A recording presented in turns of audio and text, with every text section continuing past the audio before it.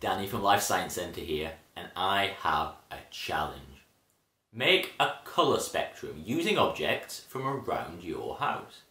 First up, collect some objects.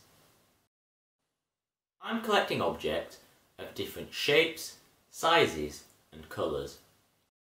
Ask permission before taking anything that isn't yours. I've chosen objects with strong, bright colours. Now, to arrange them into a spectrum. The colours in the spectrum of visible light go in the order red, orange, yellow, green, blue, indigo and violet. I don't have a lot of indigo or violet items, so I've gone for purple and pink. When arranging the items, think about their shape and size. Maybe stack items on top of each other or fold flexible items and see how they look. There's no one way to do it.